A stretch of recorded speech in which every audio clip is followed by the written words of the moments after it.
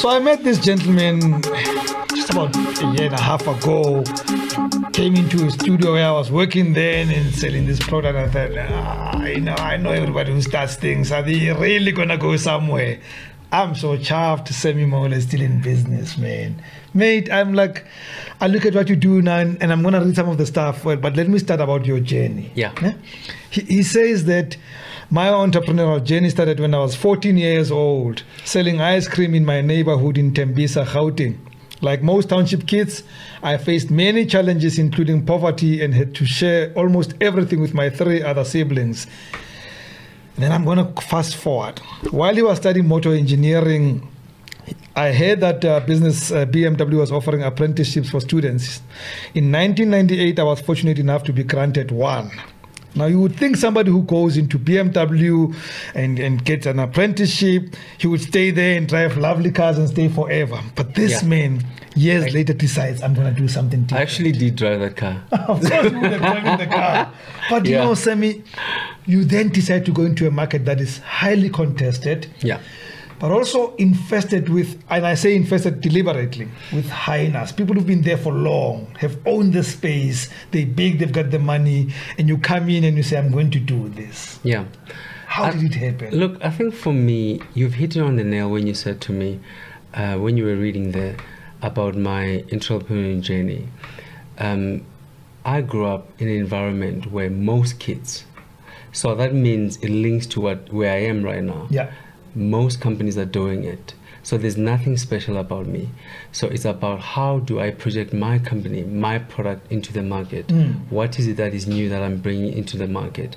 It's a new offering that we are, you know, chasing another company in terms of competition, but at the same time, we're bringing value you know to for for the customers so, so that they can look at the other product and match it with our our, our product in in terms of value as well as uh, the taste look and feel Yeah. we've hit to hit those um, boxes and say are we comfortable to release the product and so far the product is ticking all those boxes Yeah. it's a it's a one 1.5 billion market and when you think about it when World Cup was coming here you think somebody would want to be in that sort of market but everybody was thinking about the BNBs Yeah, accommodation. You We're know? told, no, make your house available. That's so for me. I thought about people who want to sleep somewhere while they're there they will consume a drink Yeah.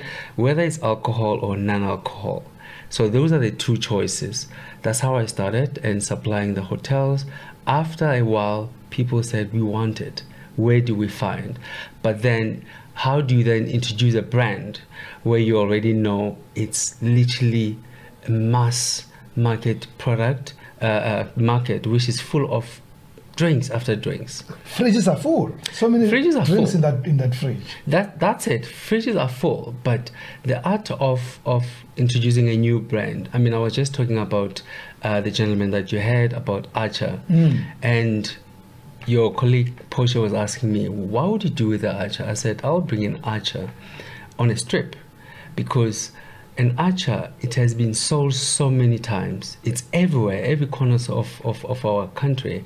But if you're introducing archer into the market you want to bring convenience. Mm. so i will bring a strip that shows show people that you can actually put it into a bag you can put it into your drawer. It doesn't leak you know whether you buy an, an archer into a big supermarket or small they all have one problem they They are leak. greasy Very you know. greasy. You look at it But like, ah. you want to introduce a product and measure it with the current market once you've done that you've got a winning product And that's how Skyrule Twyst yeah was done. You you had you had to match it to the specific market and say this is yours. Correct. And what we wanted to do was I realized that within the market, you've got a product that's already in the market, but it's selling at a higher rand value. How do you then introduce a product that is similar taste, but at the same time you're introducing a twist of some sort? I mean, in our company, we part of our Bible, we say we twist hands when we're happy. In a normal mind, will be, why would you do that? Hmm. You know, so we do things backwards. What is normal to you, for us, it's abnormal. So that is the concept of spiral twist. And and you you had to introduce this product on a better price point without compromising quality without even sending message to to to, to market that Yeah. this is a lesser product. Mm. What What do you want to do in terms of pricing? You need to look at the economy. That's number one. Um, people are very price sensitive, and when they buy products such as ours, they compare it with a two liter. What can I get? Or can I get a two rand extra and use it for a taxi fare? Yeah. Then you then say. Is it possible that a product will be so accelerated to 14.99, 17.99 that you cannot find ingredients that are fine but at the right value? And it's not necessarily that you cannot find the ingredients that are affordable. It's a question of they've mastered the art of being arrogant, where they've said every year we're going to increase our pricing, whether you like it or not. We've built a brand and we dominate the market. And unfortunately, Skyrule is here. We are eating. Where? Who, who, who's are the market? their Where are you selling? And I'm, I'm, Yeah. Asking for the for the viewer, not for me. I know Yes. where, where to get it all the time. So the last time when I was with you, we Yeah. were selling at Pick n Pay nationwide. We were selling at 22 hypers just in Gauteng. So the the, the, the the proposal for us was you're going to have 22 hypers and then prove yourself. Once you've done so well in the hypers, we'll give you the whole pie. So we now have the tw- the 200 checkers in Gauteng. We're now doing the Free State. And Wow. um, yeah, we, we're doing the Free State, all, all of the Free States. And then we've just signed Makro, we've just signed OBC, we've just signed uh, KitKat, uh, we've just signed OK, Caltex, uh, we've just signed Food Zone. So our our listing it's almost of a higher value than mm. the company itself because of we've now mastered the art of presenting our product very well. And what what it is is is, is about people. What i realized over the years was you can knock on the same door for the last two years but if you don't connect with people and somehow bring a connection between the product as well as the human being it doesn't matter how great your product is. Yeah. It's never Yeah. gonna get in Yeah. that's where the bottom line. Who who who's resonating to twist? Who who's that? Describe to me this client of yours. Yeah.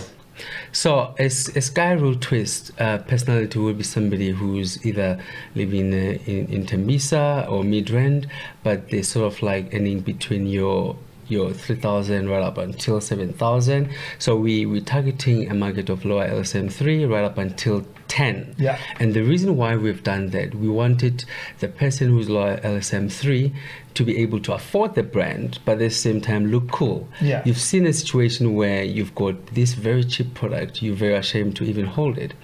Then that's where the higher LSM kicks in. Yes. That you have bought in the, che- uh, the the cheaper, affordable product, but at the same time, in terms of the look and feel, It looks cool. it looks cool Looks like and I can relate with it. But at the same time, I wanted to um, knock at home where I sort of like educate at the same time to say, um, we black people, we are capable, we can do this. I mean, we've done this out of no budget, zero budget. I know. Um, we, I had to sell my house, uh, sold the car, and because the question if you believe in it so much, why wait for government funding? Mm. Why wait for somebody to inject some money into the business? You know, I think the biggest mistake in my in my case was the financial controls. Which today, if we have a different conversation about financial controls, I'll be I'll be screaming Zara and let, Nadia. let me tell you, if you had not had poor financial controls, you probably Yeah. would not be sitting here because I, I tend to think that we all have to go through that. It's, it's a rite of passage, you know. If you're gonna start a business, you're gonna have to make some financial mistakes somewhere so that you, You get will, better. yeah. The- and the sooner you make them, the better for me. So that you don't make them when Mm. this is worth 14 billion dollars. Mm. You'd rather make them when it's still worth 14,000 rand. Correct. Yeah, I think it's much better then. It is, it is much better, but in this type of a business, one has to be very alert in terms of the legal fees that you have to engage in monthly. Um, for our business, we have to have a watchdog that literally looks after our brand. You know, who's uh, copying our brand, who's you, you know infringing with our trademark. You have to have that particular department that's looking after your brand. So that's a legal cost. The moment anything goes wrong, You have to go after somebody, whether you are friendly with them or not. You Doesn't have matter. to protect the brand. And most entrepreneurs, they don't invest on the legal part of the business. They think I'm gonna be fine. You're not gonna be fine. you're not gonna be fine. There's no such thing. I'm gonna be fine. You're not gonna be fine. Once you know the legal fees are piling up, you're not gonna be fine. You're gonna have to make those decisions whether you're gonna close the business or you know It's as simple as carry on loose. You know, Let's go back to the product. yeah. So we've got, I know we've got the red grape juice with blueberry flavor. Then you've Yeah. got the apple juice with uh, peach flavor. Mm. Are these the only two flavors out there? We've got four. So we've got um, the apple with a twist of peach. Yeah. We've got red grape with a twist of blueberry, and then we've got the other two new ones that are coming up next year, which is uh, white grape with a twist of lychee, Mhm. and then you also have pear with a twist of lemon, as well as ginger, and that is the one that is aiming at the mixing market. Yeah. Um, deliberately for those guys that love their whiskey, Yeah. that enjoy their vodka. You can still use these ones. I was as about well. to say, you- I'm You know, sure, they're very especially the red one. I'm sure it's already playing in the in the mixing Oh, market. that one is a it's a god in, yeah, in. I, I can I can imagine a few things that go with it. it's a it's it's- it's god in vodka, so it works so well. Yeah. But we want to take a consumer into a journey and educate the consumer about the product, as to say, look, if you twist me with this particular gin Yeah. or with this particular whiskey, this is how I taste. You know, it's another dimension of our growth as a as a company, where we say we we're introducing a range one one step at a time. I mean, part of our our new signing with Makro is to produce a 1.25. That happens automatically for all our range. Wow. So that has to happen because of Makro. That's their biggest. That's their biggest market. That's their 1.25 market. So we're introducing that straight on. And would that then go to your typical retailers like you know? They will. Yeah. They will. Yeah. They will be everywhere, but ultimately we'll launch it at Makro and then it will trickle down to your Pick n Pay and your. But I then well. start seeing it selling it at selling it in Tatepilani next door to my mother's house because at 1.25 is more accessible to that market. Yeah. Yeah. Look, as, you- as we speak, um, Tembisa, where I'm from, is infested with my product. It was deliberate for me for Tembisa to understand that this is a product that's from Tembisa. homegrown. That's homegrown. So we do a lot of activations there. If we cannot win at home, there's no point of us trying to conquer Soweto or Katlehong. We have to win there. And um, it might be a good thing or a bad thing um, in terms of seeing the product everywhere because you don't literally know who's literally um, manufacturing at the back of the room or you know having the right one um, that's where the legal part pl- plays in of course it's not a realistic thing to chase everyone but you must have some kind of a control where you look at it it's not literally drawing so much or causing a hole into your pocket And sometimes it's just, you know, a legal letter is enough. You don't even have to do much. I Let's love those by the it. way Yeah, I mean, they- they're just amazing. Yeah. Did you, when you started this, did you, in your wildest dreams, think it would be at this point where you are now? Never, never. Um, I'm a very simple guy, and um, one one person last week just asked me, "Why are you always wearing black?" And I said, um, "It's a deliberate decision that I've made, where I just felt that I've grown as a human being, and I don't feel that clothes needs to make who I am." As an entrepreneur, when you get to a level where somebody now says, "We have to feature you to be the best dressed," that was alarming for me. That was a turning point. And I said, mm, that's not where I'm going. So therefore, how do I have an identity that is linked to me without, you know, um, attracting other things? Um, just last week, I got a call from the Premier's office, and um, I was part of the the team that selects the winners for the the Premier's Excellence Awards that are happening next year, and um, that's when it hit home that realistically I might undermine myself so much. Um, these are the awards that I won last year, but this year I'm involved in the judging selection. Um, it's only grace and God. Yeah, he is an award-winning entrepreneur. I mean, I could read all of these awards that he's done, but the love, the, the one I, I love most, he achieved the SADC Top 100 Young Leader 2018, SA Small Business Awards uh, Top 20 2018, Gauteng Premier Service Awards Inclusive Economy Award 2019, Game Changer Awards 2019, CEO Today Global Awards winner 2019, and lastly, Global Excellence Awards winner 2019. Yeah. So you back up your story with work. You see, you see, for me, most of us talk, and these awards say, "I know what I'm talking about." Because other people are seeing the ve- they, they see that in Correct. It's because it's the vote of other people. It's not And- you speaking about yourself. And the beauty for me is you don't you don't start a business having awards in your mind. It becomes a compliment and sort of like a validation of what you're doing, and uh, it just gives a pat on your back that your colleagues, your the people that you work with, you know, somebody's saying. I mean, some of the awards that you you've been reading, um, they happen in Africa. We got a call. You know, you you get selected by the nation. You're not selected by a team yeah. you know, in a in, in a room where they decide. we Are you think already selling in the continent? You know, we are. We are selling in Botswana. We are selling in in Swaziland. We are selling in um, Lesotho. We finalizing Congo, Wow. which I'm literally excited about. Wow. Yeah. Mate. So we we were eating this this big pie one one chew at a time. What's what's next? I mean, That's- that's we a- talking about the the, the, the flavors, but from a business point of view, what's next? That's that's a that's a that's a big that's a big question. Um, just two weeks two weeks back, I made a decision not to do speaking anymore because I I just felt that I need to stop and literally gather myself and find my what's next.